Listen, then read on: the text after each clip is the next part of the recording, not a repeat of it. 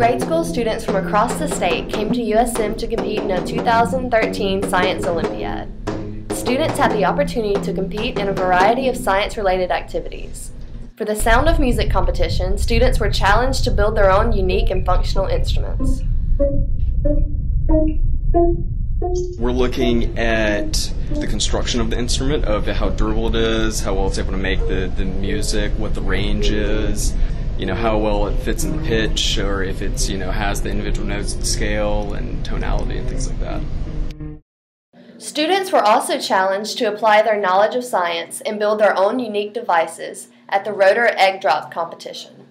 The bottom is flat and then the and the top kind of curves up to carry the egg down from at least 15 feet up and not break it and it had to rotate.